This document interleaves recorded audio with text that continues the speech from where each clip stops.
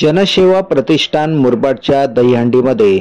जय हनुमान गोविंद पथक देवगावसह तेरा दहीहंडी पथकांचा थरांचा थरथराट. दहीहंडी फोडण्याचा मान जय हनुमान गोविंद पथक देवगाव पथकाने पहिला पारितोषिक पटकावले.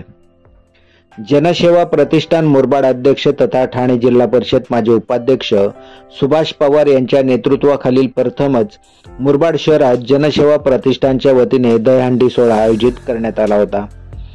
या सोहळ्यात सकाळी दहा ते चार वाजेपर्यंत जवळपास तेरा गोविंद पथकांचा थरथराट पाहायला मिळाला. त्यात तेरा गोविंद पथकाने प्रत्येकाने पाच सहा सात आठ थरापर्यंत सलामी दिली.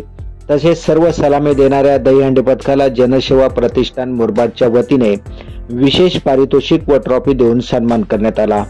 तर यावेळी दहीहंडी सोहळ्यात सिने अभिनेत्री शिवानी बावकर यांनी सुद्धा उपस्थिती राहून जमलेल्या प्रेक्षक वर्गाला व गोविंद पथकांना आपण केलेल्या मराठी मालिकेतील डायलॉगबाजी करून चाहत्यांची मने जिंकली.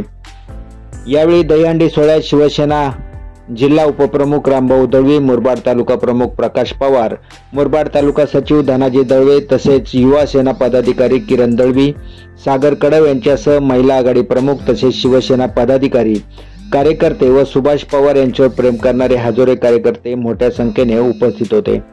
तर या दहीहंडी सोहळ्यात दर्शन म्युझिकल ऑर्केस्ट्राद्वारे मराठी गीतांचा सुंदर कार्यक्रम करण्यात आला. या दहीहंडी सोहळ्यात शिवसेना उपनेते प्रकाश पाटील आमदार शांताराम मोरे ठाणे जिल्हा परिषद माजी उपाध्यक्ष सुभाष पवार कल्याण मुरबाड शिवसेना जिल्हा प्रमुख अरविंद मोरे यासह सर्व मान्यवरांनी दहीहंडी सोहळ्यात आपले मनोगत व्यक्त केले.